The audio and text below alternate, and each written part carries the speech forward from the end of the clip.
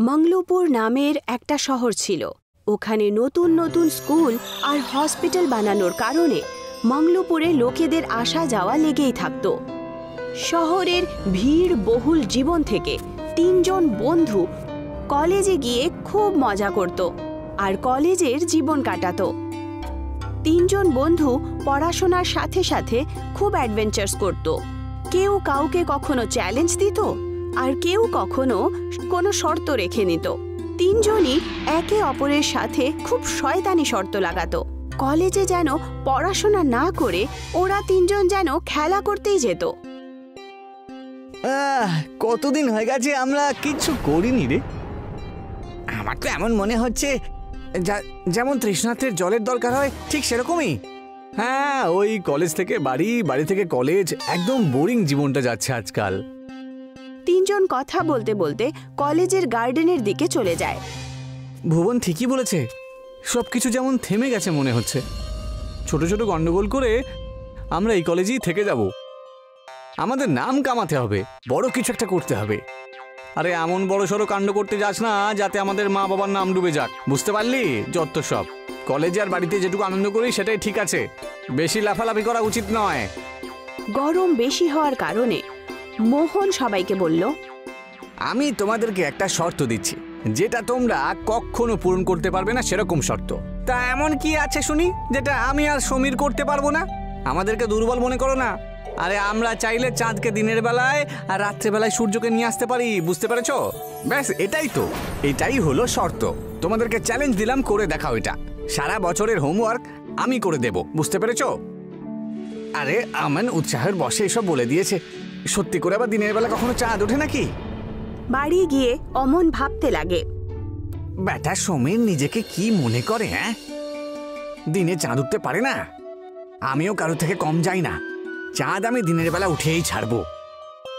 অমন ভাবছিলই যে অমনের দাদু অমনের কাছে চলে আসে।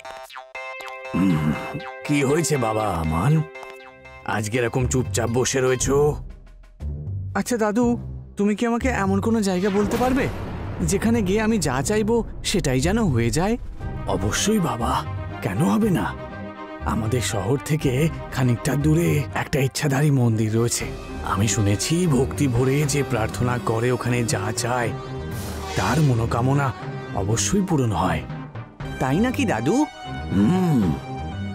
অমন দাদুর কথা শুনে সকালে ওই মন্দিরে গিয়ে পৌঁছায়। ওখানে ও নিজের বন্ধু সমীরের সাথে গিয়েছিল। সমীর আর অমন ওখানে গিয়ে প্রার্থনা করে। হায় ঈশ্বর আমার এই মনোকামনা যেন পূর্ণ হয়ে যায়। আর আমারও ঈশ্বর আমার শুধু একটা ছোট্ট ইচ্ছা রয়েছে। আমি যেন বারো ক্লাসে ভালো নাম্বার পেয়ে পাশ করতে পারি। এখানে আমরা শর্তের জন্য প্রার্থনা করতে এসেছি। ভালো নাম্বার পাওয়ার জন্য নয়। দুজনের প্রার্থনা শুনে মন্দির থেকে আওয়াজ আসে। বলো বালক কি চাও তুমি? মা সরস্বতী আমরা চাই যে দিনের বেলা যেন চাঁদ ওঠে। আচ্ছা দিনে যদি তুমি চাঁদ চাও তাহলে রাতে কি আমরা টিউবলাইট জ্বালাবো? মা এখন গরমের কারণে দিনের বেলায় মানুষরা অসহায় হয়ে পড়ছে। আমরা ওদেরকে একটু শান্তি দিতে চাইছি। আমরা চাই কয়েকদিনের জন্য লোকেরা যেন গরম আর আলো থেকে মুক্তি পেয়ে যায়। তাহলে ওরা গরমে আর কষ্ট পাবে না। আমরা শুধু এইটুকুই চাই যে কিছু সময়ের জন্য সূর্য পশ্চিম দিকে চলে যাক আর চাঁদ আমাদের সঙ্গেই থেকে যাক। এর জন্যে তোমাকে নিজেই চাঁদের সাথে কথা বলতে হবে। এইসব দেখে চাঁদ প্রকট হয়ে যান। আর বলেন যতক্ষণ আমার থাকা দরকার এখানে ততক্ষণ সূর্য দাদারও থাকাটা দরকার। সূর্য দাদা না থাকলে মানুষের প্রচণ্ড কষ্ট হবে যে ওরা বুঝতেই পারবে না। যে কোন কাজটা কখন করা উচিত। কিন্তু আমাদের তো এটাই ইচ্ছে। আমরা শুনেছি যে যে এই ইচ্ছাধারী মন্দির থেকে আজ পর্যন্ত কেউ খালি হাতে ফেরেনি। আমাদের মনোকামনা পূর্ণ করুন ভগবান। হুম, ঠিক আছে বালক। তোমাদের যেমন ইচ্ছা করেছ, সেই ইচ্ছা অবশ্যই পূরণ হবে। আজ থেকে কয়েকদিন পর্যন্ত আমি পূর্ব দিকে মানে তোমাদের গ্রামের দিকেই মানে তোমাদের দিকেই বেরোবো। আর সূর্য দাদা পশ্চিমের দিকে চলে যাবে রাত্রে বেরোবে। চাঁদের কথা যেইমাত্র শেষ হয় তক্ষুনি ওখানে অন্ধকার হয়ে যায়। যেই মাত্র দিনের আলো অন্ধকারে বদলে যায় তক্ষুনি লোকেরা চিন্তা করতে শুরু করে। অন্যদিকে মোহন বুঝে যায় যে এই সমীর আর অমনেরই কাজ হবে। এটা নিশ্চয়ই ওই দুই পাপেরই কাজ হবে। আরে ধুর বাবা এখন আমাকে সারা বছরের ওদের হোমওয়ার্ক করে দিতে হবে। দিনের বেলায় চাঁদ উদয় হওয়ার কারণে পুরো শহরে এই কথাটা ছড়িয়ে পড়ে। অর্ধেক লোকেরা খুব চিন্তিত আর কিছু লোক ঘুমিয়ে পড়ে। আরে উঠে পড়ো! কাজে যাবে না নাকি আজ? সকালের এগারোটা বেজে গেছে। সকাল এগারোটা? নাকি রাত এগারোটা? বাইরে তো এখনও অন্ধকারই দেখতে পাচ্ছি। আমার এখনও শুতে ইচ্ছে হচ্ছে আমাকে আর শুতে দাও। সমস্ত স্কুলের ছুটি হয়ে যায়। ফ্যাক্টরি থেকে সমস্ত মজদুর নিজের নিজের বাড়ি যেতে শুরু করে। আর যাদের রাত্রিবেলার কাজ ছিল তারা নিজের কাজের জন্য দৌড়ে যেতে লাগে। কি বন্ধুরা তাহলে মজা হচ্ছে তো? কয়েকদিনের জন্য সবাই আরাম করে থাকো। সত্যি তোর জবাব নেই বন্ধু। এত বড় কাণ্ড আজ অব্দি না কেউ করেছে না কখনো করতে পারবে। মোহন, আমাদের হোমওয়ার্ক করার জন্য তৈরি হয়ে যা। তুমি শর্ত হেরে গেছো। আরে, সে তো আমি করবই, কিন্তু তার আগে তো আমরা কলেজ যাব তবে তো। এখানে তো স্কুল কলেজ সবকিছুই বন্ধ। এখন লোকেরা বাড়িতে আরাম করে করে ক্লান্ত হয়ে পড়েছে। চার দিন কেটে যায়। লোকেরা আলোই দেখতে পায়নি। লোকেরা সূর্য দেখতে পায়নি। ওদের ঘরের খাবার দাবার সব শেষ হয়ে গেছিল। সবাই খুব অস্থির হয়ে ভগবানের কাছে প্রার্থনা করে, হে ভগবান আমার স্বামী বাড়িতে বসে শুধু ঘুমোয় বাচ্চারা খেলাধুলো করতে ব্যস্ত। খাবারের জন্য বাড়িতে কিচ্ছুই নেই। হে ভগবান, সূর্যদেবকে ডেকে দিন। সেই রাত্রিবেলা অমনের দাদুর শরীর খুব খারাপ হয়ে যায়। অমনের মা বাবা আর অমনের বন্ধুরা দাদুকে নিয়ে হাসপাতালে পৌঁছায়। হ্যাঁ এখানে তো কাউকেই দেখতে পাচ্ছি না। সবাই গেল কোথায়? মনে হয় অন্যদিকে গেছে। দাঁড়া আমি ওদেরকে দেখে আসছি না হয়। চল মোহন। মোহন আর সমীর পুরো হাসপাতাল খুঁজে দেখে কিন্তু ওরা কাউকে দেখতে পায় না। পুরো হসপিটালটা আমরা দেখে এলাম কিন্তু কাউকে কোথাও দেখতে পেলাম না। কিছুক্ষণ পর ওরা একটা লোককে দেখতে পায় যে ওই হাসপাতালের কম্পাউন্ডার ছিল। এ ওই দেখ ওই দেখ ওখানে একজন কম্পাউন্ডার দাঁড়িয়ে রয়েছে। হ্যাঁ চত ওকে গিয়ে জিজ্ঞাসা করি। এই যে দাদা এখানে কাউকে দেখা যাচ্ছে না কেন? সবাই গেল কোথায়? আমার দাদুর শরীর খুব খারাপ। ডাক্তার লাগবে চলুন না তাড়াতাড়ি। আরে কিছু বলুন। ডক্টরের দরকার। আরে এখানে কেউ নেই। ওনাকে নিয়ে গিয়ে পশ্চিম দিকের হসপিটালে গিয়ে ভর্তি করে দাও বুঝলে? ওখানে সূর্য এখন উঠে রয়েছে। আর এখানে রাত তো সেই জন্য সবাই নিজের নিজের বাড়িতে আরাম করছ বুঝতে পেরেছ? আমি আমার কোনো দরকারি কাজে এখানে এসেছিলাম। আমি এখন চলে যাচ্ছি। আর তুমি তাড়াতাড়ি দাদুকে নিয়ে যাও ওখানে। কম্পাউন্ডারের কথা শুনে অমন আর তার বন্ধুরা বুঝে যায়। যে ওরা খুব বড় একটা ভুল করে ফেলেছে। মনে হচ্ছে আমরা এই শর্তটা লাগিয়ে খুব বড় ভুল করে ফেলেছি। এসব ঠিক করতে হবে আমাদেরকে। আচ্ছা তাহলে আমরা আবার ওই ইচ্ছাধারী মন্দিরে গিয়ে এই জিনিসটা ঠিক করে দিই? কি বলো? নিশ্চয়ই কাজ হবে। অমন নিজের দাদু আর বন্ধুদেরকে নিয়ে সঙ্গে সঙ্গে ইচ্ছাধারী মন্দিরে পৌঁছায় আর ওখানে পৌঁছে সত্যি মনে প্রার্থনা করে। হে দেবীমা আমরা অনেক বড় ভুল করে ফেলেছি। আমাদের বন্ধুদের আর আমাকে ক্ষমা করে দাও। এরকম ভুল আমরা আর কখনো করব না। ওদের প্রার্থনা শুনে মন্দির থেকে আওয়াজ বেরোয়। বলো বালক তোমরা কি চাও? সবাই নিজের নিজের কথা ওনাকে বলে। এর জন্যে তোমাকে নিজেই চাঁদের সাথে কথা বলতে হবে। তক্ষুনি ওখানে চন্দ্র দেবতা প্রকট হন। তাহলে বলো খোঁকা কি হয়েছে তোমাদের? বাচ্চারা নিজেদের সমস্ত সমস্যা ওনাকে বলে। আর বলে চন্দ্রদেব আমি কথা দিচ্ছি। এই ভুল আর আমি কখনো করব না। আমাদের ক্ষমা করে দিন। আমাদের জন্য সকলে খুবই কষ্ট পাচ্ছে। হ্যাঁ এরকম ভুল আমরা আর কখনো করব না। এবারের মতো ক্ষমা করে দিন। আমি তোমাদের কথা তখনই মেনে নেব। যখন তোমরা সবাই ভালোভাবে মনোযোগ দিয়ে পড়াশোনা করবে আর কখনো এরকম ধরনের কোনো কাজ তোমরা করবে না। হ্যাঁ আমরা করব না। হ্যাঁ আমরা করব না। হ্যাঁ আমরা করব না। আমাদের ক্ষমা করে দিন। চন্দ্র দেবতা ওদের ক্ষমা করে দেন আর সঙ্গে সঙ্গে সূর্যদেব বেরিয়ে আসেন। তারপর অমন নিজের দাদুর চিকিৎসা হাসপাতালে করালো আর তিনজনই আবার মন্দিরে গিয়ে কোনো শর্ত না লাগানোর প্রতিজ্ঞা নিল। একদিনের কথা। যখন সূর্য অস্ত হচ্ছিল আর চাঁদ আসছিল। তখন সূর্য চাঁদকে বলল এই যে ভাই একটা কথা বলো তো। তুমি যখনই আসো তখন তোমায় কেউ প্রণাম জানায় না কেন? সেরকম কোনো ব্যাপার নয় দাদা। সবাই তো আর একরকম হয় না। অনেকে আছে যারা আমাকে প্রণাম করে। কিন্তু আমি যখনই আসি তখন পুরো জগৎ আমাকে জল দেয়। কিন্তু তোমাকে তো কেউই জল দেয় না দেখেছি। সূর্য আর চাঁদের এই কথাগুলো বেলাপুর গ্রামের লোকেরা শুনছিল।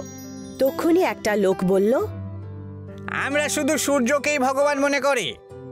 চাঁদ আমাদের ভগবান নয় হ্যাঁ? না এরকমটা নয় মোটেই। আমাদেরকে চাঁদকেও ভগবান হিসেবে মানা উচিত। সূর্য ভগবান তো আমাদেরকে রশ্মি দেয় রোদ দেয়।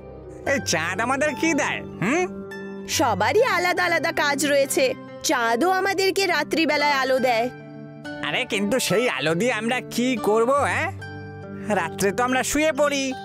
রাত্রে আমাদের আলোর কোনো দরকার নেই। কিন্তু চাঁদেরও তো উপস্থিতি জরুরি। চাঁদের আমাদের কোনো দরকার নেই। চাঁদ যদি না থাকে তাও আমাদের জীবনে কোনো সমস্যা হবে না। ও না থাকা আর থাকা একই ব্যাপার বুঝেছ? এদের সবার কথা চাঁদ আর সূর্য দুজনে মিলে শুনছিল। এইসব কথা শুনে সূর্য খুব খুশি হলো। কিন্তু চাঁদ একটু উদাস হয়ে গেল। সূর্য চাঁদকে বলল দেখলে বেলাপুরের লোকেরাও শুধু আমাকে ভগবান মনে করে কিন্তু তোমাকে কিছুই মনে করে না। এরা সবাই আমাকে পুজো করে। আমিও তো ওদেরকে আলো দিই। যদি আমি না থাকি তাহলে এদের জীবনে অনেক সমস্যা দেখা দেবে। কোনো ব্যাপার না। এমনিতেও এদের কাছে তোমার থাকা না থাকার কোনো গুরুত্বই নেই। আচ্ছা তাহলে এই ব্যাপার। ঠিক আছে। এবার থেকে আমি আর আসবই না। চাঁদ রেগে ওখান থেকে চলে যায়। চাঁদের যাওয়ার পর বেলাপুরে রাত্রিবেলা খুব অন্ধকার হয়ে যায়। আকাশে কিছু তারা তো ছিল কিন্তু তাদের আলো খুব কম ছিল। অন্ধকার এত ঘন ছিল যে কোনো মানুষ কিছুই দেখতে পাচ্ছিল না। এখন খেতে ফসলের সময় হয়ে গেছিল।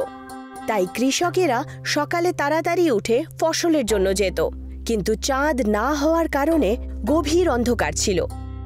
আরে উঠে পড়ো। আজকে জমিতে বীজ ফেলতে হবে যে। তাড়াতাড়ি ওঠো না হলে কড়া ধূপ চলে আসবে যে।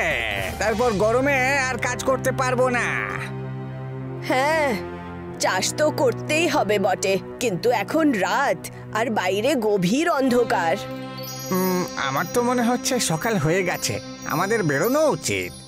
ওসব তো ঠিক আছে কিন্তু বাইরে তো কিছু দেখাই যাচ্ছে না যাবেই বা কি করে? হুম ঠিক আছে সকাল হলে তারপরই যাব। ওরা দুজন সকাল হওয়ার অপেক্ষা করছিল। যখন সকাল হলো তখন ওরা দুজন ক্ষেতের জন্য রওনা দিল। কিন্তু কিছুক্ষণের মধ্যেই খুব কড়া রোদ আসে আর রোদের কারণে খেতে কাজ করা খুব মুশকিল হয়ে গেল। খুব গরম হচ্ছে গো। চলো বাড়ি যাওয়া যাক। সকালে তাড়াতাড়ি চলে আসব। হ্যাঁ ঠিকই বলেছ। এই ভয়ঙ্কর গরমে তো আমিও কাজ করতে পারছি না। কালকে আসব আমরা। হুম। ওরা দুজন মিলে বাড়ি ফিরে আসে। পরের দিনও যখন ওরা উঠল তখন রাত্রিবেলা চাঁদ না হওয়ার কারণে খুব ঘন অন্ধকার ছিল। আর আজও ওরা দুজন যখন উঠল, তখন সূর্য উঠে গেছিল।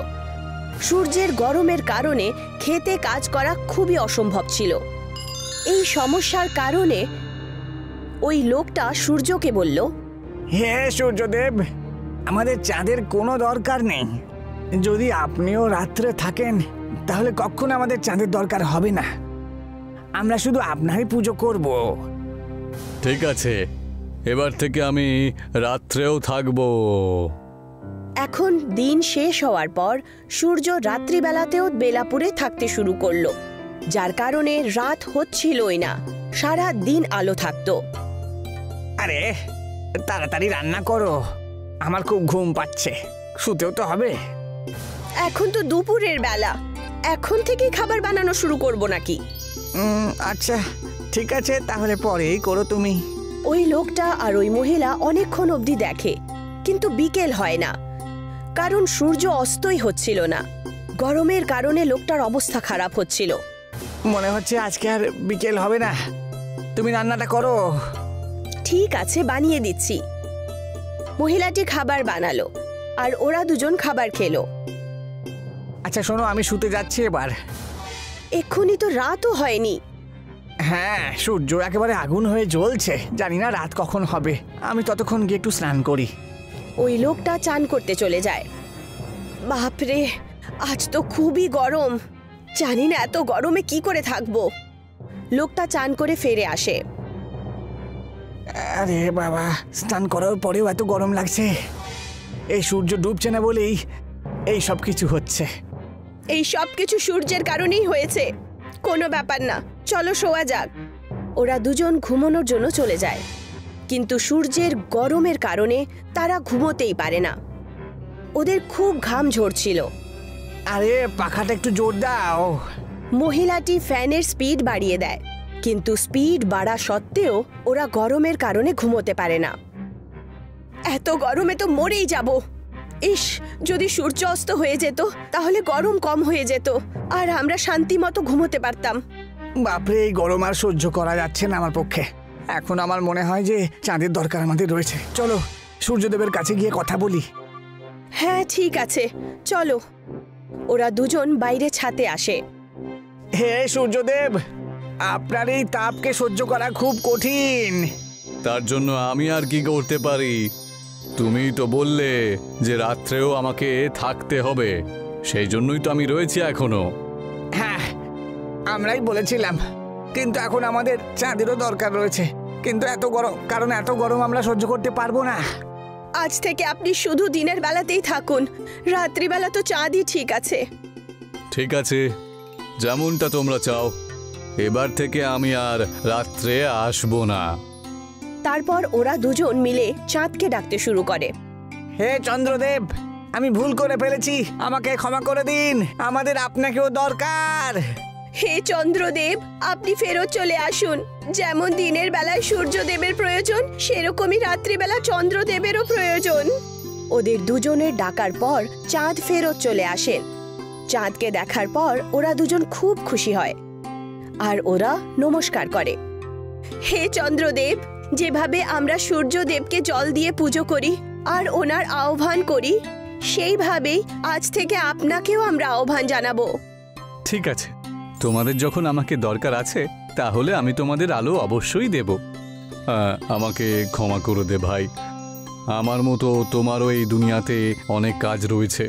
আমি যেমন দিনে উদয় হওয়া সূর্য তেমনই তুমি হলে রাত্রে উদয় হওয়া সূর্য। সূর্য অস্ত হয়ে গেল আর অন্ধকার হতে শুরু করল।